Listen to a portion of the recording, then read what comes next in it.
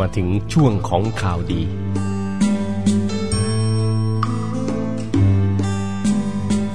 ข่าวดีจากบทพระวรสารตามคำบอกเล่าของท่านนักบุญลูกา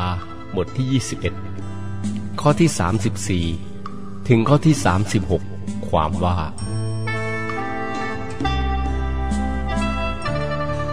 เวลานั้นพระเยซูเจ้าตรัสแก่บรรดาศิษย์ว่า จงระวังไว้ให้ดี อย่าปล่อยใจของท่านให้หมกมุ่นอยู่ในความสนุกสนานรื่นเริง ความเมาไม้และความกังวลถึงชีวิตนี้ มิฉะนั้น วันนั้นจะมาถึงท่านอย่างฉับพลัน เหมือนบ่วงแล้ว เพราะ วันนั้นจะลงมาเหนือทุกคนที่อาศัยอยู่บนแผ่นดิน ท่านทั้งหลายจงตื่นเฝ้าอธิษฐานภาวนาอยู่ตลอดเวลาเถิด เพื่อท่าน จะมีกำลังหนีพ้นเหตุการณ์ทั้งปวงที่จะเกิดขึ้นนี้ ไปยืนอยู่เฉพาะพระพักตร์บุตรแห่งมนุษย์ได้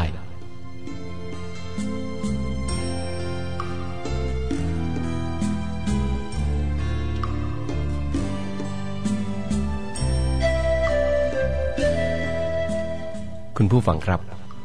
บทพระวรสารตามคำบอกเล่าของท่านนักบุญลูกาวันนี้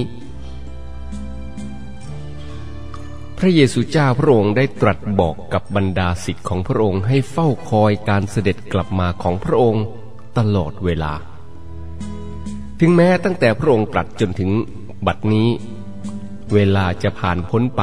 สองพันกว่าปีแล้ว ความจริงก็ยังคงอยู่ พระองค์จะกลับมาอีกครั้ง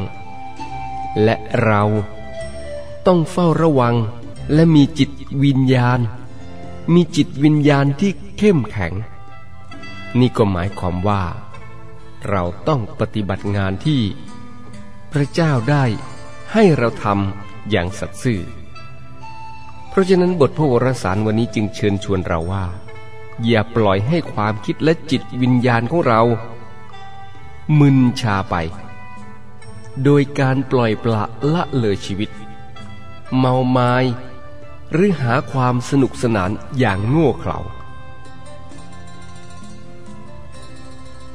อย่าให้ความกระวนกระวายใจ เกี่ยวกับชีวิต มาเป็นภาระ ภาระที่หนักหน่วงเกินกำลังของเรา เพื่อว่าเราจะได้เตรียมพร้อม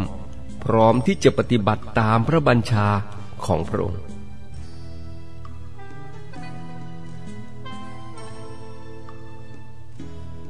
จงระวังให้ดี อย่าปล่อยใจของท่านให้หมกมุ่นอยู่ในความสนุกสนานรื่นเริงความเมาไม้และความกังวลถึงชีวิตนี้มิฉะนั้น วันนั้นจะมาถึงท่านอย่างฉับพลันเหมือนบ่วงแล้ว ท่านทั้งหลาย จงตื่นเฝ้าอธิษฐานภาวนาอยู่ตลอดเวลาเถิด เพื่อท่านจะมีกำลังหนีพ้นเหตุการณ์ทั้งปวงที่จะเกิดขึ้นนี้ คุณผู้ฟังครับเพียงไม่กี่วันหลังจากที่พระเยซูเจ้าพระองค์ได้ตรัสบอกกับเหล่าบรรดาศิษย์ให้อธิษฐาน เพื่อเขาจะรอดพ้นจากการถูกกดขี่ข่มเหง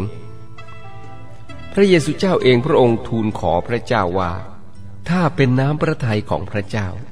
ขอให้พระเจ้าช่วยให้พระองค์ไม่ต้องทนทุกข์ที่ไม้กางเขนคุณผู้ฟังครับเป็นเรื่องผิดปกติ ผิดปกติที่จะต้องการทนทุกข์ แต่ในฐานะสิทธิ์ของพระเยซู เราเต็มใจที่จะทนทุกข์ ในฐานะที่เราเป็นคริสตชนผู้เชื่อ เราเต็มใจที่จะทนทุกข์ ถ้าหากทำอย่างนั้นแล้ว เราสามารถช่วยพระอาณาจักรของพระองค์ โดยเฉพาะในยามทนทุกข์ ในยามทนทุกข์เรามีพระสัญญาที่แสนจะวิเศษสองประการ พระสัญญาแสนวิเศษสองประการที่จะช่วยเราก็คือ พระเจ้าจะสถิตกับเราเสมอ และวันหนึ่ง พระองค์จะทรงช่วยเราให้รอดพ้น และประทานชีวิตนิรันดร์ให้แก่เรา ท่านทั้งหลายจงตื่นเฝ้าอธิษฐานภาวนาอยู่ตลอดเวลาเถิด เพื่อท่าน จะมีกำลังหนีพ้นเหตุการณ์ทั้งปวงที่จะเกิดขึ้นนี้ ไปยืนอยู่เฉพาะพระพักตร์บุตรแห่งมนุษย์ได้